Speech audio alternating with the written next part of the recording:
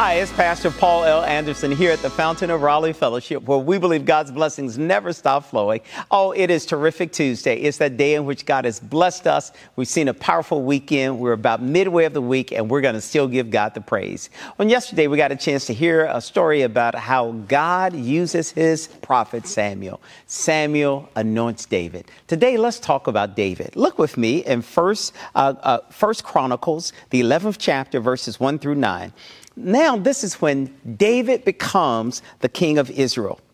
And so now God has called David, and David is at Hebron.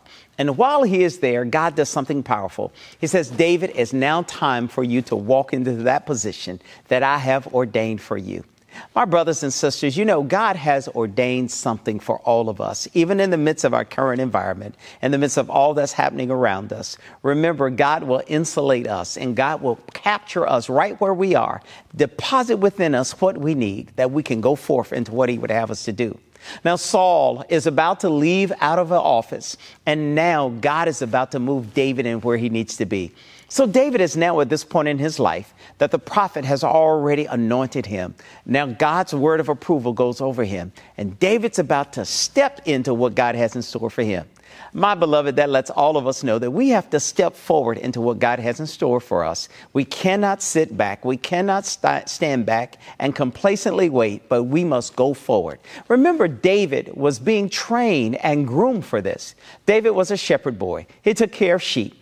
He had to fight against lions. He had to fight against bears. He had to fight against all those things, wolves that would come against the sheep. He protected his sheep with such an ownership that I am the shepherd of these sheep, and no harm will come upon them under my watch. God grooms him for him to know that Israel will be under his watch and he must make sure that he protects them. The text lets us see that as David goes his way, David now has to capture a city, a city that is known as Jerusalem.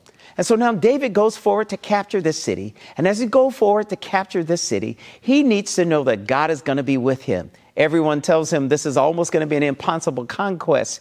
But David says, with God on my side, I know I can win. So David goes forward, he captures it. And after he captures it, he does such a wonderful job of doing it that he finds himself now getting against the greatest stronghold that there's ever been. He breaks the stronghold, and now he assumes the leadership he brings into conquest this new area. And because of that, he has all the land, the land of the Jebusites, and it is now renamed because David captured it, is now called the city of David.